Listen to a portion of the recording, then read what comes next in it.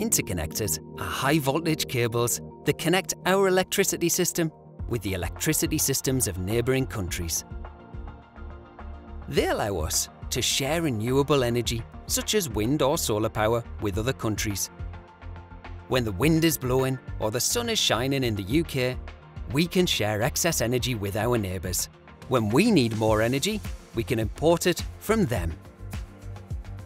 We already have interconnectors connecting the UK to France, Belgium, Norway and the Netherlands.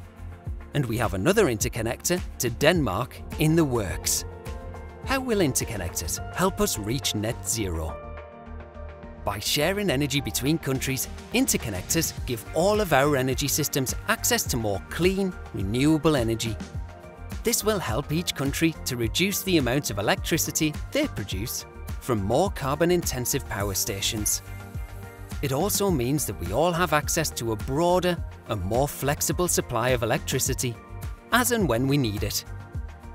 By 2030, 90% of the energy we import through interconnectors will be from zero carbon energy sources, helping us get closer to net zero. It's estimated that interconnectors will help us avoid around 100 million tonnes of carbon emissions from power generation between 2020 and 2030. The future of interconnectors. At the moment, offshore wind farms and interconnectors operate separately, each connecting to the shore individually. But we're developing multi-purpose interconnectors.